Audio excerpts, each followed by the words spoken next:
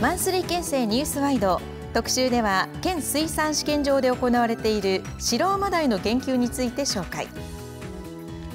またゴミの不法投棄対策を進めている廃棄物指導室の取り組みについてゲストを迎えてお伝えします。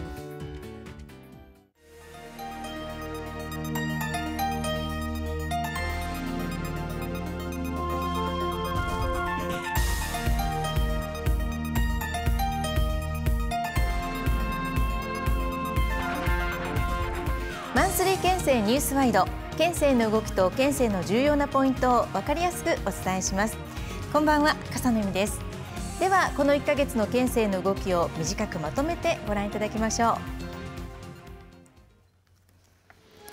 白浜町の熊野白浜リゾート空港と韓国のインチョン国際空港を結ぶ国際チャーター便の第1便が今月6日朝白浜町に到着しご当地キャラたちが搭乗客を出迎えました。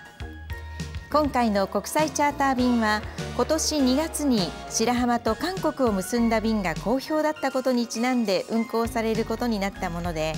今月21日までの間に6往復し合わせておよそ700人が来県。3泊4日の日程で円月島や橋杭岩和歌山城など県内各地を巡るツアーなどを楽しみました。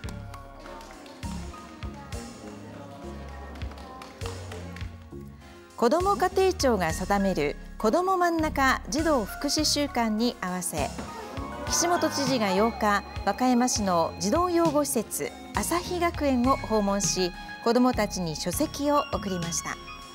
子ども家庭庁では毎年5月5日の子どもの日から1週間を子ども真ん中児童福祉週間と定め全国でさまざまな事業や行事を展開しています。入所している5歳から12歳までの園児と児童15人に絵本などを送った岸本知事は何事にも挑戦してくださいと子どもたちに呼びかけました。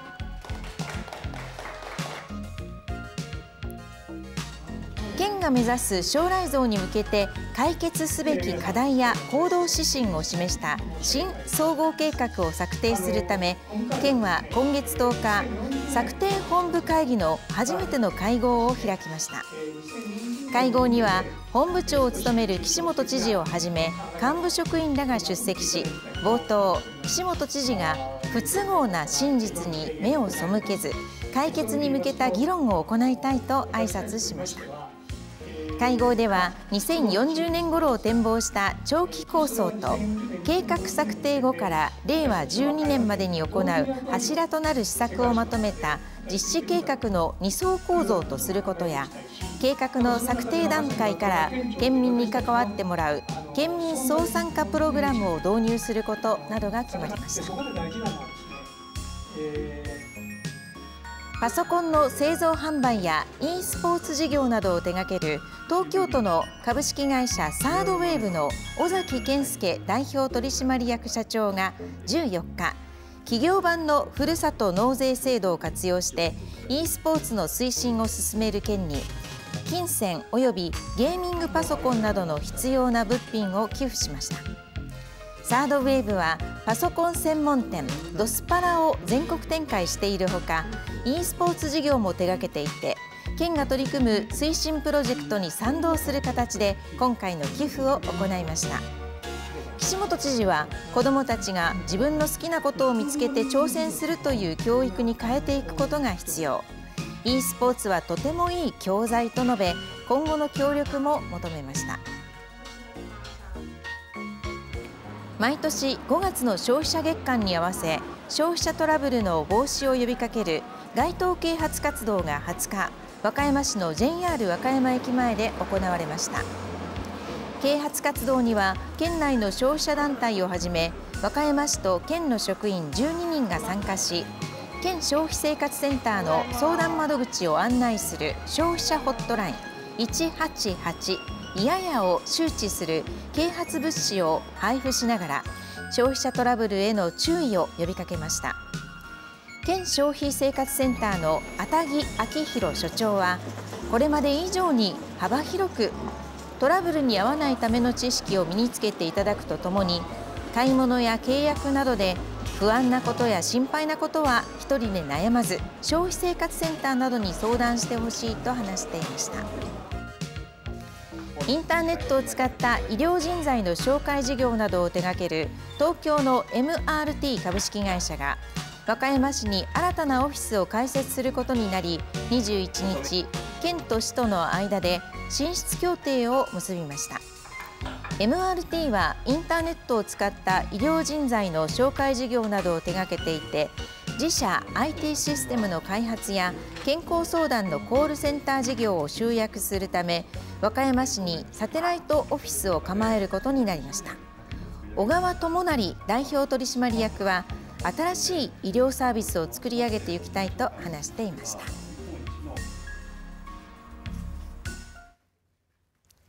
さあ続いてはマンスリーピックアップです。平成23年に田辺市で全国植樹祭が開かれたのを機に県が5月22日と定めた和歌山森林と樹木の日の記念行事が今月19日紀の川市で開かれました。紀の川市中津川のハイランドパーク小川で行われた今年度の和歌山森林と樹木の日記念行事には関係者およそ120人が出席し岸本知事が県民の力でこの森林と自然を守っていきたいと挨拶しました。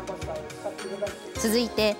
森林や樹木の保全育成活動などに力を入れている個人や団体を称える緑化功労賞の表彰が行われ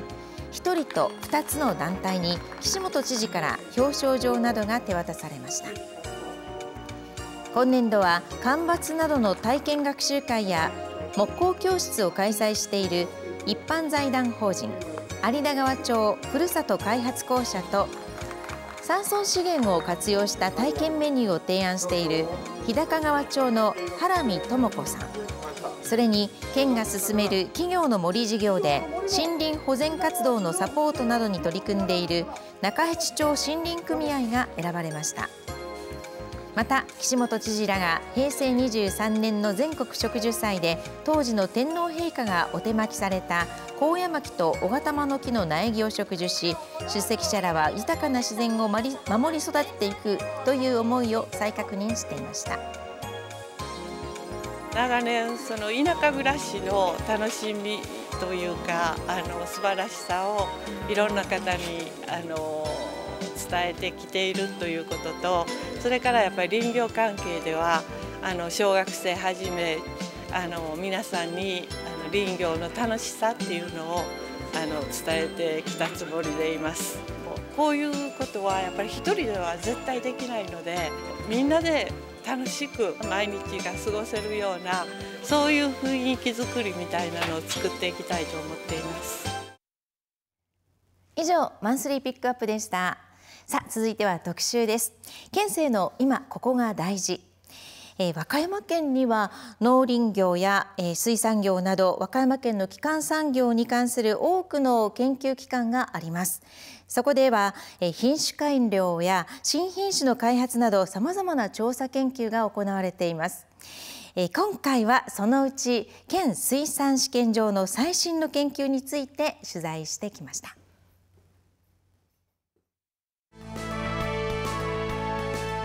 串本町によります県水産試験場にやってきました。こちらでは和歌山県沿岸で採れる高級魚白アマダイの研究が進んでいるということです。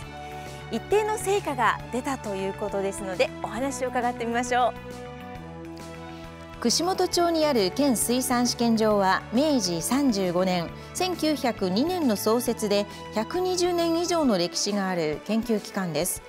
現在の試験場は平成18年に建設移転されました。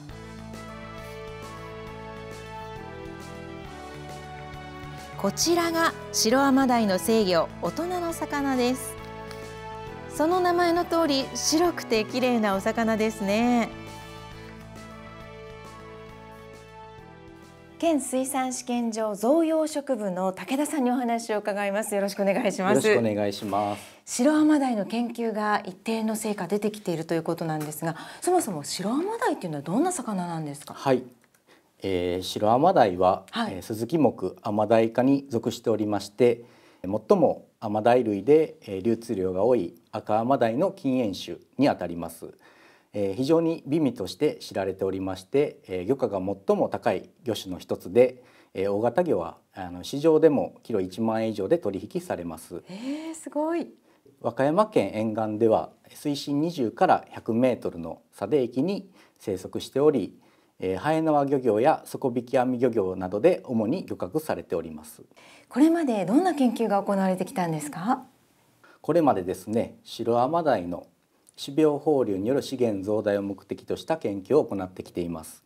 平成30年度から研究を開始しましてまずはですね種苗生産の基礎的技術を確立するための研究を行いました、はい、でその後令和3年度からは、えー、種苗の量産技術を確立するための研究を行っております。で成果といたしましては令和4年度に約1万尾令和5年度に約2万尾の種苗生産に成功し試験放流することができました。で全長ですね7センチの大きさで、えー、生産率は15%前後ということで、えー、低くはなくおおよそですね種苗の量産技術を確立したというふ,、えー、いうふうに考えております。6年の成果が出たということですね。で続いてですね、はい、えー、白アマダイの成長発育について紹介させていただきます。はい、えー、生まれてから4日目の4日例にはこのようなスリムな体型をしておるんですけども、えー、ワムシやアルテミア幼生を食べて、はい、えー、20日例にはこのようにあのフグ類のような形態にえ成長発育していきます。丸くなるんですね、はい、その後、え配合飼料などを食べながら、え成長発育していって、え50日例では大人と同じ、え形態の、え稚魚と、えになります。はい。で本日、えー、飼育している魚は、えー、35日例の魚になりますので、えー、この30日例と40日例の間の、えー、形の魚が、えー、見ていただくことになるかと思います。可愛いですね。では早速見せていただけますか？はいお願いします。お願いします。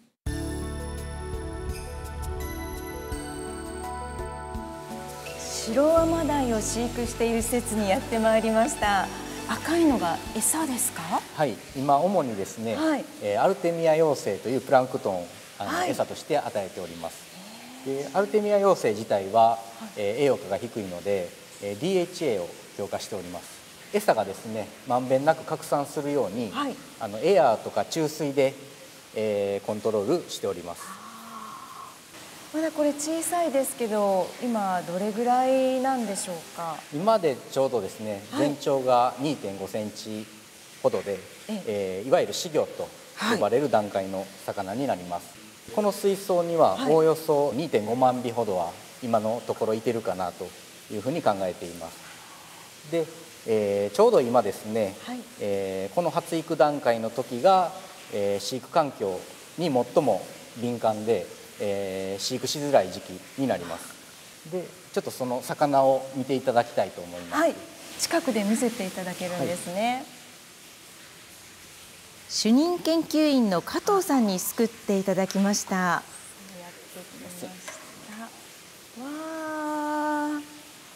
まだまだ丸いですね。そうですね。現状このような、えー、形態で、はい、まだ頭の割合が大きく大人と同じ、はい、えー、形にはなっていないです。大体卵からこの状態になるまでどれぐらいの割合でなれるもんですか？えっと昨年度はですね、うん、80日例で、えー、生産割合が15%ほどだったんですけども、はい、えー、今年度はここまで順調に来ているので。えええー、倍の30%ほどをあの狙って飼育していきたいなと思っています。そうですか。どれぐらいの大きさになったら食べ頃となるんですか、えっと、白アマダイに関しても、はい、あの小型魚は市場評価が低いので、はい、できれば、えー、3年放流から3年経った3歳、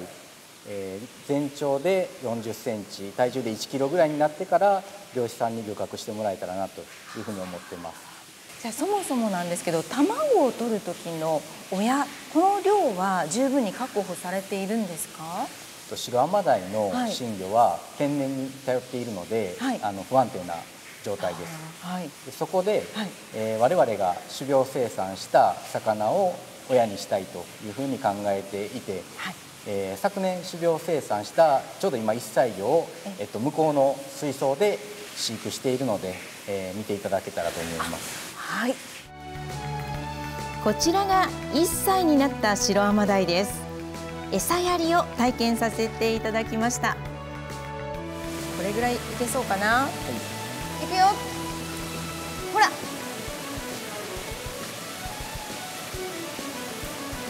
たきたきたきた。わあ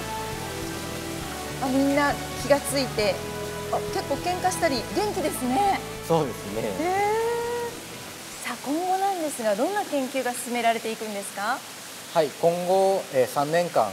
受精卵を安定的に確保する技術と、はい、あとシロアマダイの稚魚の生態っていうのは分かっていないので種苗放流に適したえ魚体サイズとか海域を検討するような研究を行っていきたいというふうに考えております最後に今後の意気込みをお聞かせください、はい。えー、種苗放流の事業化は種苗量産技術が核となりますがこれについてはおよそクリアできております、はい、今後、えー、受精卵を安定的に確保する技術をあの開発してできるだけ早く事業化し、えー、シロアマダイのえ資源量を増やして、え漁業者さんの収入を増やしていきたいというふうに考えております。あと、えー白アマダイの飼育によって白アマダイに関する新たなえ学術的な発見なんかも合わせてできたらなというふうに考えております。水産試験場で育った種苗いわゆる稚魚が和歌山県沖の海に放流されまして、えー、その海で大きく成長した白アマダイを今度は漁師さんたちが取って私たちが美味しくいただくということで今後の研究に本当に期待がかかりますね一つ目の特集でした。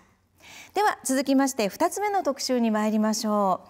えー、全国的にも大きな課題となっていますゴミの不法投棄や不適正な処理。そういった問題の解決に向けて対策を進めている県の廃棄物指導室の取り組みをご紹介いたします。スタジオには県循環型社会推進課廃棄物指導室の野下さんにお越しいただきました。野下さんどうぞよろしくお願いいたします。よろしくお願いします。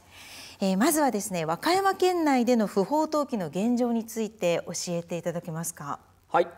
和歌山県の不法投棄パトロールで発見した不法投棄の件数をグラフでまとめたものをご覧ください、はい、和歌山県では平成15年度から家庭から出る一般廃棄物と事業所から出る産業廃棄物の件数を集計しています。ご覧いただいている通り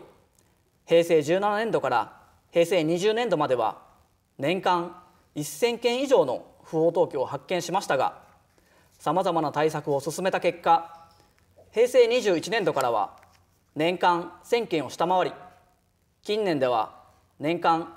300件から400件ほどで推移していました、はい、昨年はコロナウイルスによる行動制限の解除もあり538件と近年では若干の増加傾向となっていますが過去最高の平成19年度の件数と比較すると件数は約4分の1となっています。はあずいぶん全般的に見ると低くなっているわけですよね、はい、そういった不法投棄を発見するためにどういった取り組みを進めていらっしゃるんでしょう？はい。和歌山県では不法投棄対策として不法投棄が多発する場所に監視カメラを設置しています、はい、監視カメラにより撮影した車のナンバーなどから行為者を特定して、行為者に廃棄物を撤去させるとともに、うん、警察に情報提供し検挙につなげることで不法投棄の拡大を防いでいます、はい、さらに令和3年度に導入した IoT 対応の監視カメラにより職員が実際に現場に行くことなく、はい、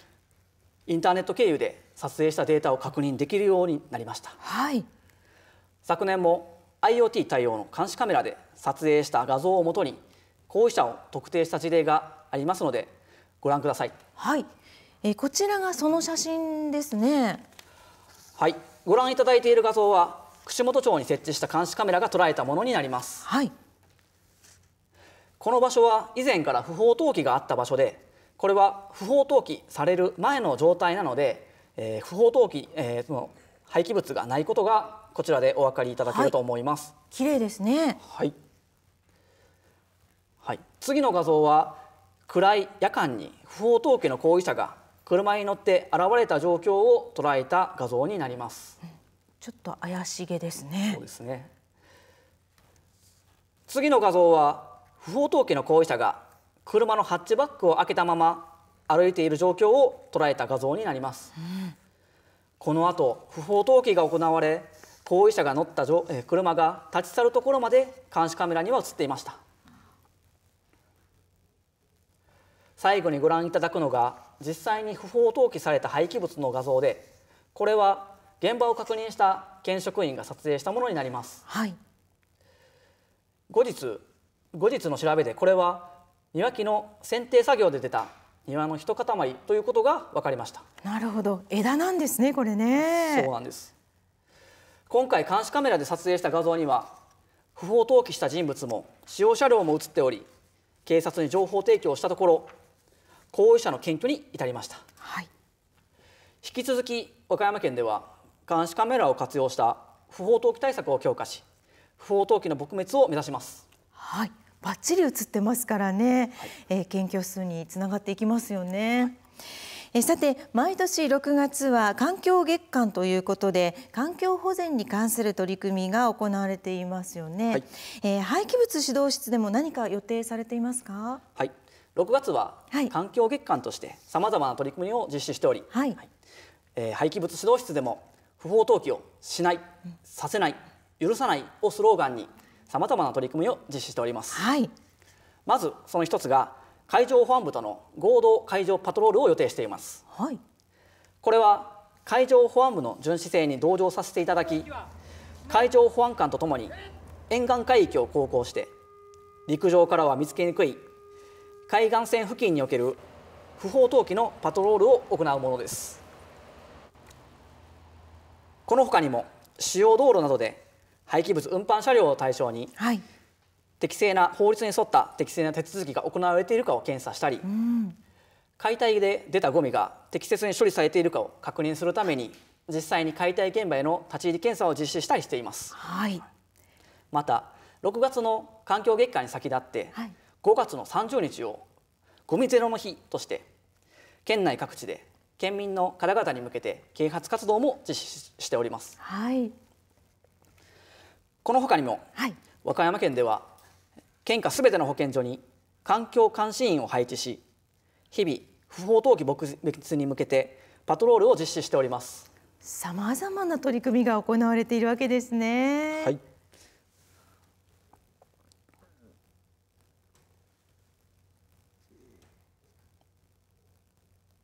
さあそれでは最後に県民の皆さんにメッセージをお願いいたします。はい。まず不法投棄や不法焼却は犯罪です。違反すれば5年以下の懲役または1000万円以下の罰金。法人であれば3億円以下の罰金となっており非常に罪の重い犯罪となっています、はい、美しい和歌山の自然環境を後世に残すためにも県民の皆様には不法投棄をしないさせない許さないという意識を持っていただければ幸いです、はい、不法投棄の具体的な端緒として見慣れないダンプやトラックの往来が見受けられる。早朝夜間にもかかわらずダンプやトラックが走っている。異臭のする土砂泥を運んでいる。工事現場でもないのに土地に大きな穴が掘られている。穴を掘るためのショベルカーがある日が経つごとに無造作に置かれた建築廃材が増えている。などの状況があれば間違いでも構いませんし匿名でも構いませんので和歌山県廃棄物指導室または管轄する保健所までお知らせください。通報方法に関しましては和歌山県のホームページにあります不法投棄110番からお知らせいただくか和歌山県廃棄物指導室まで電話やメールファックスでお知らせください。はい。不法投棄110番の電話番号とファックス番号はご覧の通りです。電話番号が073 441-2681番。ファックス番号が073-441-2685番です。和歌山県不法投棄110番で検索いただくとメール110番の送信フォームにアクセスできますのでこちらもご利用ください。え今日は県廃棄物指導室の取り組みについて野下さんに伺いました。野下さんどうもありがとうございました。ありがとうございました。さあそれでは最後にもう一つマンスリーピックアップです、えー、来年開かれます大阪・関西万博で和歌山の魅力を発信しようと各振興局と県内の学生らが連携しましてアイデアを生み出そうという取り組みが始まった話題です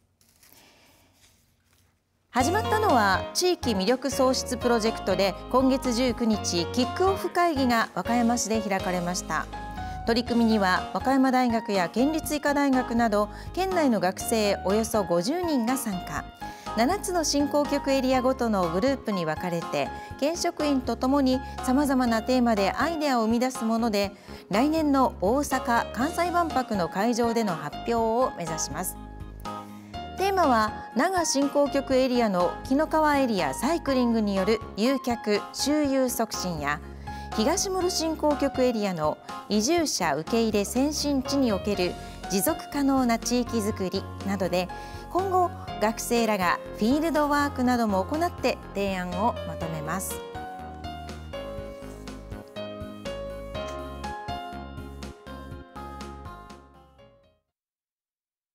私ムスリムとしてイスラム教の人として日本での食事はちょっと困ってます。で日高振興局はあの食事と食文化について取り組んでいましたので新しい誰でも食べれるようなメニューを開発していこうと思ってまして世界と和歌山の架け橋になれるよう、えーと、と特に私の母国のマレーシアとの架け橋になれるよう頑張っていきたいなと思ってます。と僕自身が大学2年生の時にですね熊野三山をめぐるパンフレットを作らせてもらったんですけれどもその時にフィーチャーしたのが中ヘチの方でしてで今回西室振興局の掲げているテーマとして大ヘチ海の方を通る熊野古道に目を向けさせたいということがあってでそのテーマを聞いて初めてやっぱり自分が中ヘチ山の中を通る方ばっかりに意識がいってしまったなということに気づきまして今回の、えっと、万博を通して、えっと、大ヘチの方にも、えっと、誘客を促進させて、まあ、より熊の地域を盛り上げていきたいと。ピックアップでした。では最後に県からのお知らせです。県では首やかつや髪切りに関する情報提供を求めています。首やかつや髪切りは梅や桃、すもも、桜などバラ科の木の内部を食い荒らし枯らしてしまう外来昆虫です。自宅周辺の桜や園地を積極的に見回り株元に木くずが見られる木やミンチのような木くずが出ている木を見つけたときは最寄りの振興局や市町村 JA にお知らせください。詳しくは県鳥獣害対策課。電話073-441-2905番。ファックス073-428-3072番までお問い合わせください。またホームページもご覧ください。そして改めて不法投棄110番についてご紹介しましょう。電話番号が073-441-2681番。ファックスナンバーは073-441-2685番です。和歌山県不法投棄110番で検索いただくとメール110番の送信フォームにアクセスできますのでご利用ください。マンスリー県政次回は6月28日金曜日の放送です。ぜひご覧ください。それではこの辺で。